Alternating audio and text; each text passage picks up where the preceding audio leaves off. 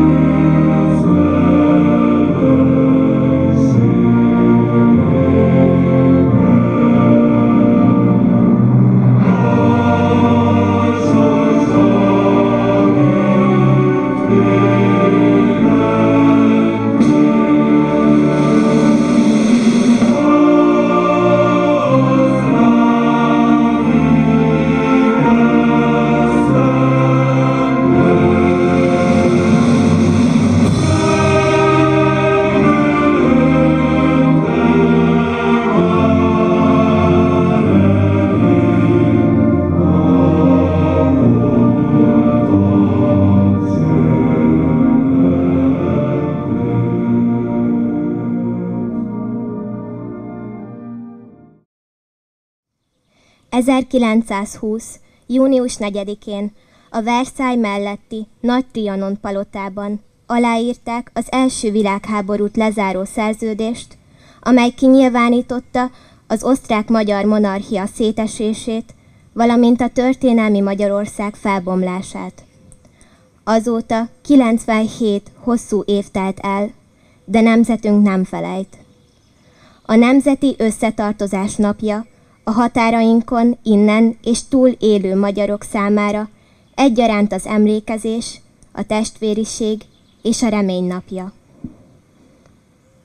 Műsorunkban a második János Pál katolikus általános iskola és óvoda tanulói közreműködnek. Elsőként Bán Orsolya, 8. B osztályos tanuló, Paudics Zoltán, Magyar Bánat, Trianon című versét mondja el. Felkészítője Szabadi Enikő. Paudics Zoltán, Magyar Bánat, Trianon. Levágták ujjaid, lábadat, kezedet, csonkává tették szép magyar földedet. Elvették a határt, elzárták a népet, és nem hagytak mást, csak az ős emléket. Szakad bánát, bácska, erdély és hargita, milliók száján ég ma is az ima. Könyvben áll a magyar szívnek dobbanása, ellen a világ, csak Isten a társa. Lobbanj fel égi tűz, olvasd el a láncunk, őszt ki lelkünkből mérhetetlen gyászunk. Mária, szent anyánk, nyújtsd felénk kezedet, űzt ki lelkünkből mérhetetlen bánatod.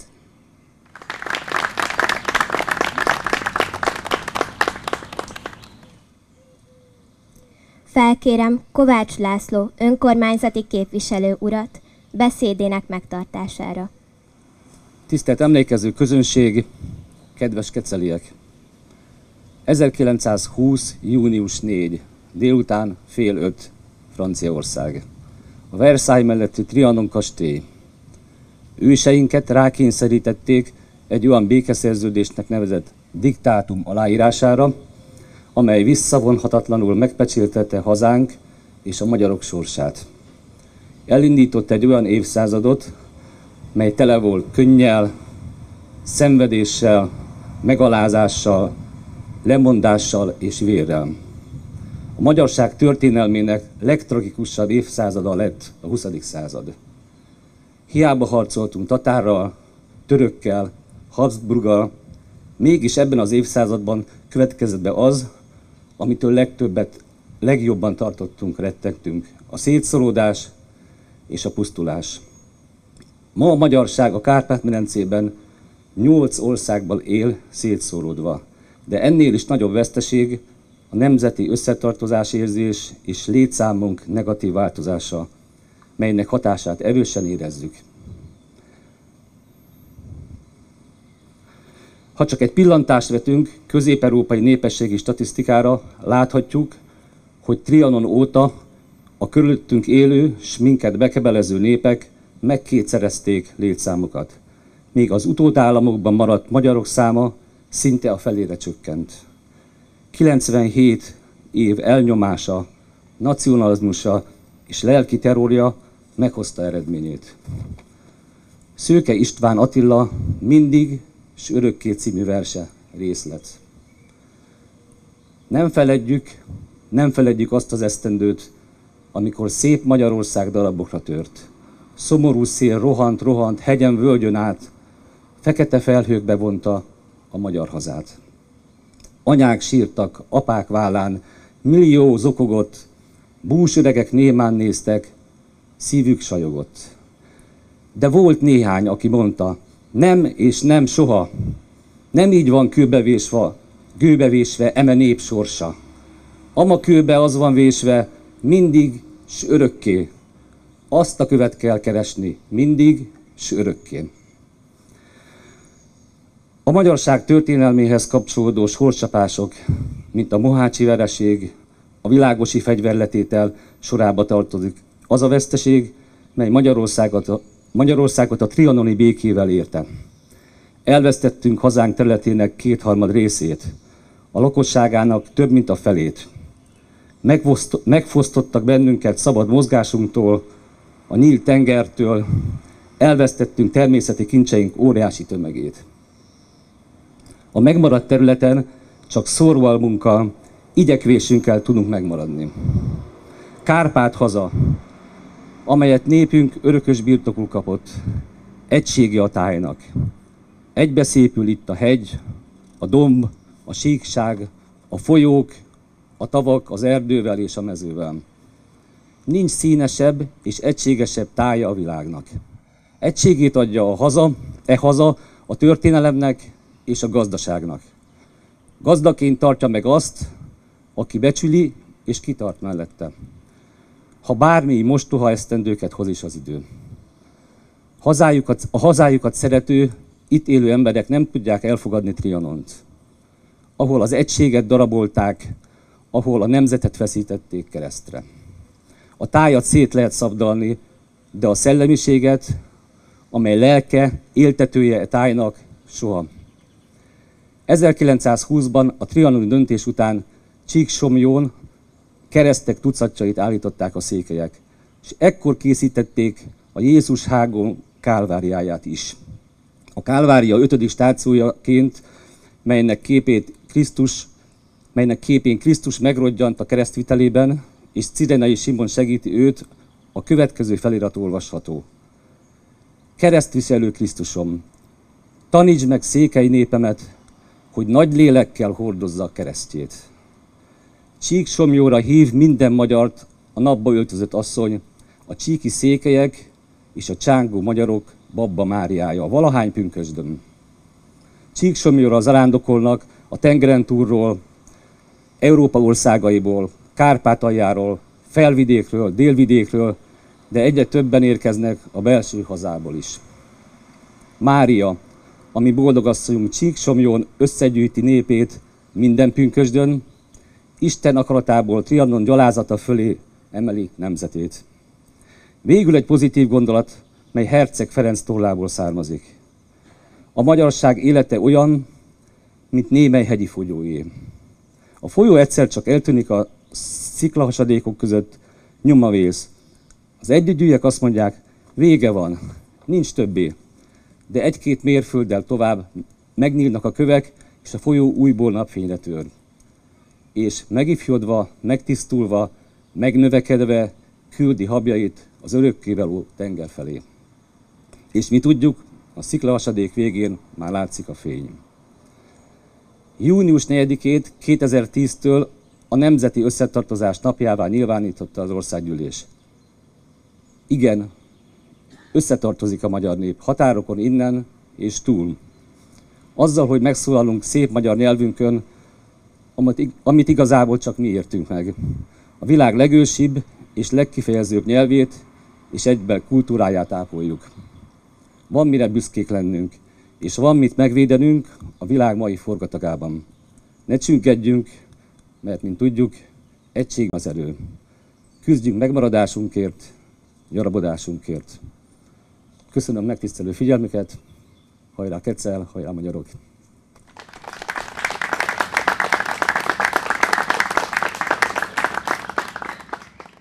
Felkérem dr. Csapi Bence, önkormányzati képviselő urat, hogy mondja el beszédét. Tisztelt Hölgyeim és Uraim, kedves megemlékezők! Közel száz év telt el a trianoni békediktátum óta. Mégis néha úgy érzem, hogy az ország és maguk az emberek sokkal messzebb kerültek a tragédia valóságától, mint ahogy azt az eltelt idő indokolná. A két világháború között nem is volt kérdés, hogy mit gondolnak az emberek Magyarország megcsonkításáról. Minden egyes családot érintő közös tragédia, közös trauma volt az ország szétszabdalása, honfitársaink millióinak elvesztése. Ma ez másként van. Ha Trianon szóba kerül, mindig akad valaki, aki így szól. Felejtsük már el, minek a múltban élni. Hagyjuk már ezeket az éredent a dolgokat. Rendkívül elszomorít, amikor ezt hallom. Mintha fogalmuk sem lenne a tragédia valódi voltáról. Nem értik, hogy itt nem pár véres szájú acsarkodó hőzöngéséről van szó, hanem arról, hogy méltósággal emlékezzünk arra a döntésre, amelyet az egész magyar nemzet feje felett hoztak meg, és amely az egész magyar nemzetet érintette.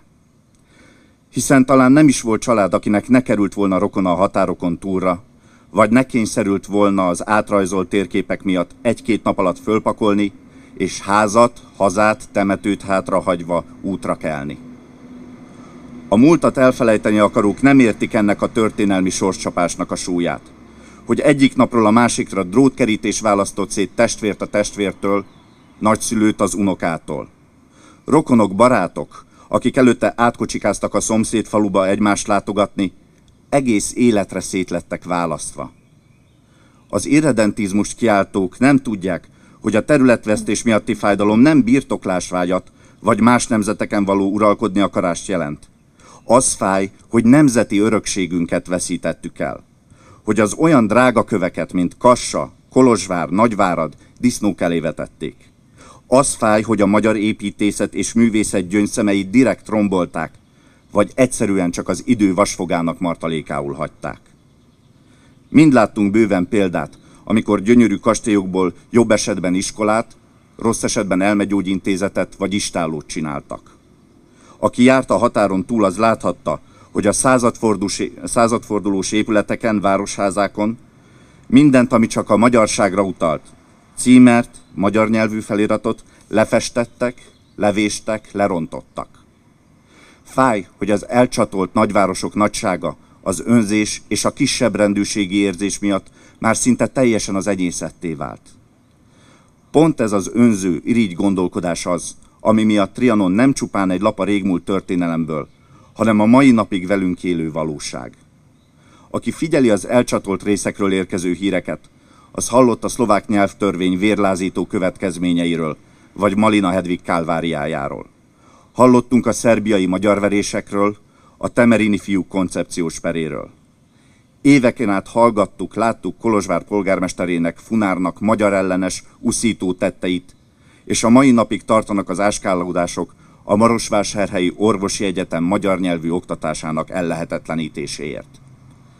A múlt mély tragédiái és a jelen tűrhetetlen atrocitásai után hogy kívánhatja bárki, hogy a trianoni békediktátumról múlt időben, zárójelbe zárva, szemtelenül beszéljünk, mintha csak egy lenne a világtörténelem unalmas oldalai közül. Hogyan lehetséges, hogy egy ilyen esemény, ami bármely más országban egységet kovácsolna, az itthon megosztottságot szül? A válasz egyaránt keresendő a múltban és a jelenben. A második világháború után a kommunista diktatúrában fasizmusnak bélyegeztek és tűzzel vassal írtottak minden nemzeti érzelmet. Később a szocializmusban bár kevésbé brutálisan nyomták el a magyarság tudatot, a mai napig is ter- terjesztett történelem hamisításuk hazug módon ábrázolta a magyar nemzet történelmét. Ráadásul ezek alatt az évtizedek alatt szokták meg az emberek, hogy lelkesedés és ünnepi hevület nélkül vegyenek részt a megemlékezéseken. Megszokták, hogy azért tapsolnak a szónoknak, mert ha nem, akkor azt feljegyzik. Úgy vélem, ez az időszak jelentősen hozzájárult, hogy az emberek teherként tekintenek az évfordulókra. De nem foghatunk mindent csak a múlt diktatúráira. Nem csak Trianon kapcsán, de bármely szimbolikus cselekvés esetén hallani olyan hangokat, hogy ez most a legfontosabb. Nincs más, amivel jobban kell foglalkozni. Bizony, a mai világ bizonytalanságában az emberek gyakran már el sem tudnak szakadni egy percre sem a hétköznapok gondjaitól. Lesz-e munkám, lesz-e fizetésem, ha lebetegszem, kapok-e ellátást. Megértem, hogy egy életünk van, és azt megélni a jelenben kell. És az élet legfontosabb kérdései közé tartozik, hogy fent tudom-e tartani magam és a családom. Megértem, hogy a mához képest a régmúlt egy ködös fogalom. De hadd fordítsa meg a gondolatot. Biztos, hogy annyira jelentéktelen a múlt emlékezete, hogy nem éri meg egy napot rászánni. Biztosan annyira lenyom a hétköznapok súlya, hogy egy napon sem tudom felemelni a lelkem a magasztosabb célok és eszmék felé. Pedig ha az emberek tudnák, hogy ez nem céltalan és elvont időtöltés, ha tényleg megélnék a megemlékezésen keresztül a nemzeti összetartozást, akkor látnák, hogy nincsenek egyedül. Látnák, hogy van kapocs, ami összeköt minket. A közös múltunk, a közös példaképek, a közös örökségek. Látnák, hogy van, amiből erőt lehet meríteni, és van példa, amit célként lehet magunk elé állítani. Látni kell, hogy mit épített ez a nemzet Trianon előtt, mit veszített a békediktátummal, és mi nagy erővel fogott bele az újjáépítésbe azután. És ez hitet és erőt önthet bárkibe. És ez a hit és erő az, ami segít, hogy túllépjünk a korlátainkon, és a saját életünket is javítva tegyünk a hazáért. Hiszem és remélem, hogy 2020 Trianon századik évfordulója olyan emlékév lesz, amikor mindannyian közösen emlékezünk nemzetünk tragédiájára. Közösen merítünk erőt a múltból, és közösen valljuk meg hitünket a magyarság felemelkedésében. Mert, a hit, mert ez a hit és erő az, ami miatt nem irredentizmus Trianonról beszélni, és a mindannyiunkban közösen gyökerező múlt tragédiái miatt pedig soha nem felejthetünk el a békediktátum áldozataira emlékezni. Köszönöm a figyelmüket.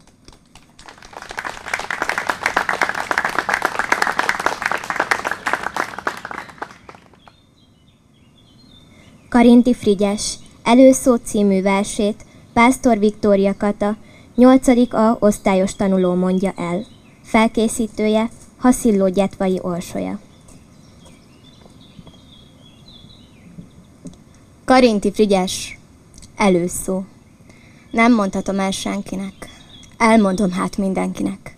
Próbáltam súgni szájon és fülön, minnyájátoknak egyenként, külön a titkot, ami úgyis egyre megy, és amit nem tudhat más, csak egy, meg egy. A titkot, amiért egykor titokban világra jöttem vérben és mocsokban. A szót, a titkot, a picincsodát. És hogy megkeresem azt a másikat, és fülébe súgjam, add tovább. Nem mondhatom el senkinek. Elmondom hát mindenkinek. Mert már félig ki is bukott. Tudom de mindig megrekedt a félúton. Az egyik forró és piros lett tőle, ő is súgni akart, csók lett belőle. A másik jéggé dermett, megfagyott, elment a sírba, itt hagyott. Nem mondhatom el senkinek, elmondom hát mindenkinek. A harmadik csak rám nézett, hitetlen. Nevetni kezdett, és én is nevettem. Gyermekkoromban elszántam magam, hogy szólok Istennek, ha van. De nékem ő égő csipkefehérben meg nem jelent. Sem borban és kenyérben. Hiába vártam sóvár irigyen. Nem méltatott rá, hogy őt higgyem. Nem mondhatom el senkinek. Elmondom hát mindenkinek, hogy fájt, mikor csúfoltak és kínosztak, és néha jobb lett volna lenni rossznak. Mert álom a bűn, és álom a jóság. de minden álomnál több a valóság. Hogy itt vagyok már, és még itt vagyok. És tanúskodom, tanúskodom a napról, hogy ragyog. Én Isten nem vagyok, és nem egy világ, se éjszakfény, se álói világ. Nem voltam jobb, se rosszabb senkinél. Mégis a legtöbb ember, aki él. Mindenkinek rokona, ismerőse, mindenkinek utódja, ismerőse.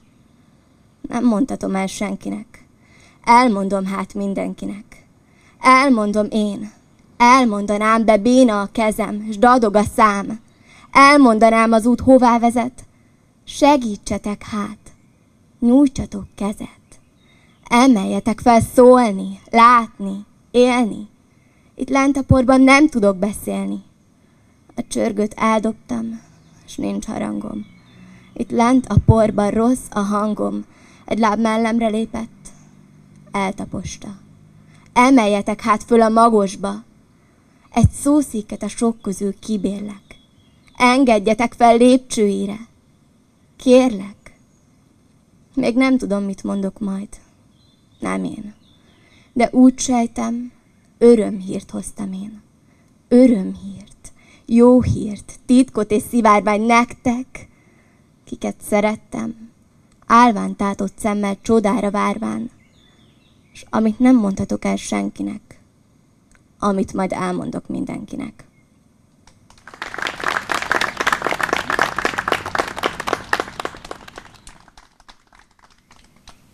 A trianoni emlékmű koszorúzása következik.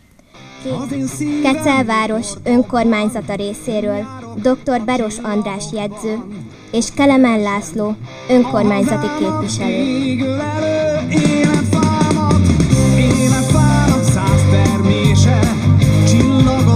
Fényessége,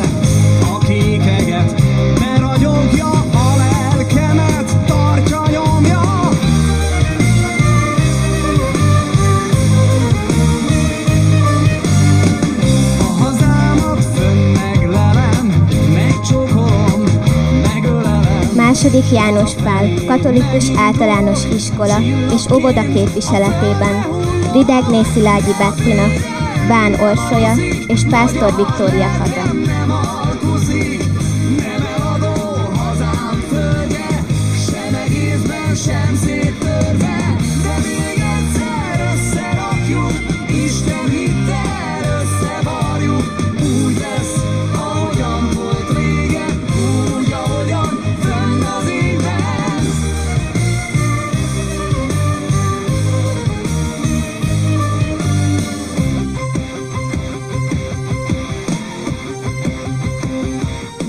Fidesz Magyar Polgári Szövetség helyi szervezetének képviseletében Kovács László önkormányzati képviselő és Német Mihály.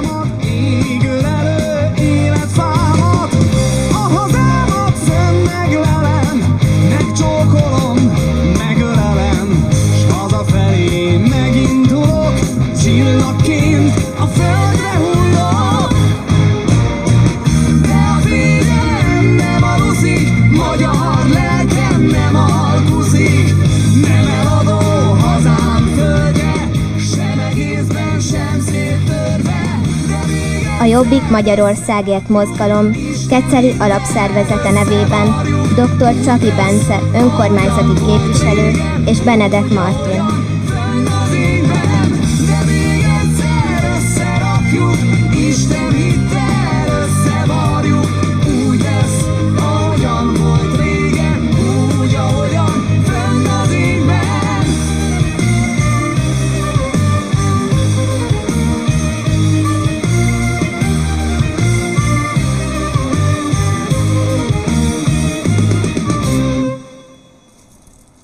A Keresztény Értelmiségiek Szövetsége Keceli szervezete részéről Jónás Júlia és dr. Dvorácskó Béla.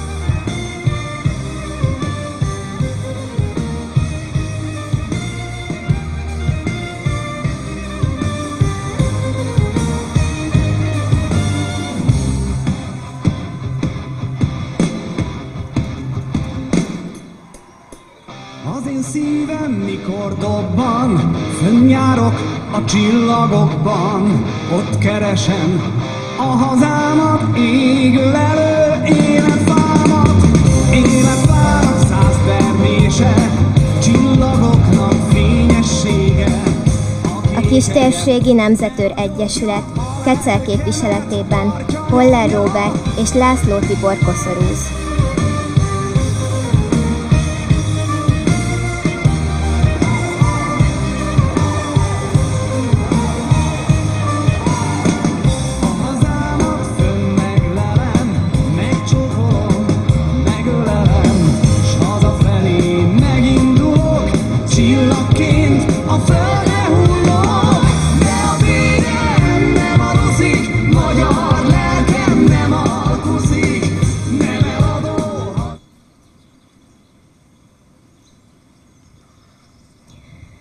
Megemlékezésünk befejezéseként kérem, énekeljük el közösen a szózatot.